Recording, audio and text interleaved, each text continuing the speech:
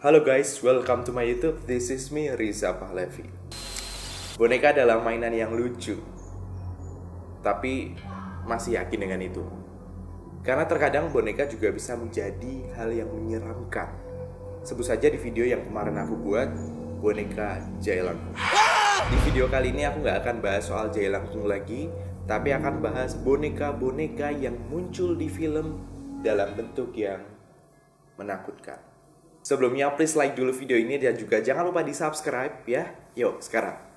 Ya sekarang ya. Yang pertama, Annabelle. Boneka berbentuk perempuan yang terbuat dari kayu ini memang memiliki paras yang mengerikan. Setidaknya sudah ada tiga film yang memfilmkan tentang Annabelle. Dua film di antaranya sudah tayang, ada The Conjuring dan juga Annabelle. Dan yang akan tayang adalah sequel dari Annabelle, yaitu film Annabelle 2. Annabelle?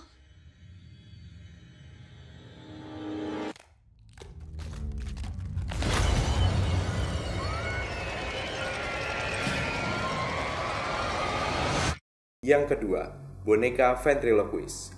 Boneka ini sebenarnya mirip dengan Annabelle, sama-sama terbuat dari kayu, hanya saja sosoknya laki-laki yang bernama Billy. Ventriloquist sebenarnya adalah boneka yang dalam pertunjukan bisa berbicara, yang dibantu oleh seseorang yang membawanya. Um, mungkin agak terdengar sulit, ya mungkin aku kasih contohnya seperti boneka Susan. Nah, udah ada bayangan kan? Ya, seperti itulah. Si Billy ini sudah muncul di film Saw di tahun 2004 dan juga di tahun 2007 di film Dead Silence dari sutradara James Wan yang juga merupakan sutradara dari The Conjuring. Tapi jauh sebelum itu di tahun 1978, boneka ventriloquist juga pernah menghantui di film Magic. At the scene.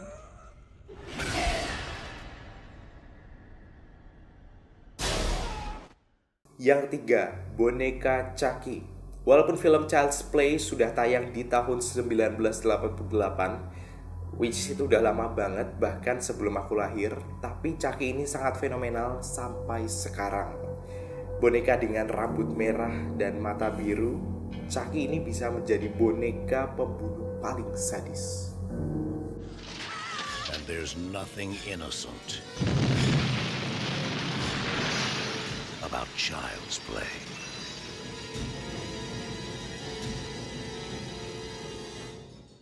Yang keempat kali ini datang dari Indonesia.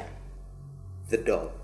Film ini mengisahkan tentang boneka gawiyah yang diambil dari kisah nyata. Bentuknya boneka seperti mainan anak-anak perempuan pada umumnya dengan ukuran yang cukup besar sekitar ya kucing yang nggak besar.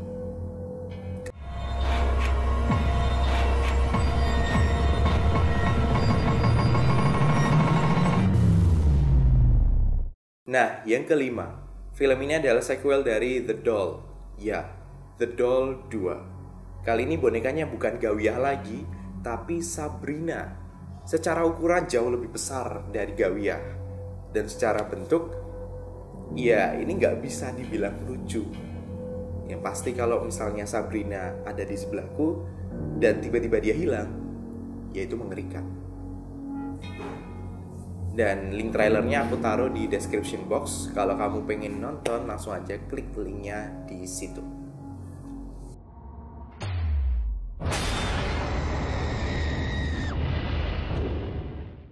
Kalau kamu tahu boneka-boneka menyeramkan yang lain yang pernah muncul di film, please kasih tahu aku tulis di comment box di bawah film apa lagi dan bonekanya namanya apa. By the way, makasih udah nonton video ini. Jangan lupa di like, comment, and share di media sosial kamu. Dan jangan lupa di subscribe plus diaktifkan tombol loncengnya biar kamu bisa dapat notifikasi kalau misalnya aku upload video baru. So, Riza pamit.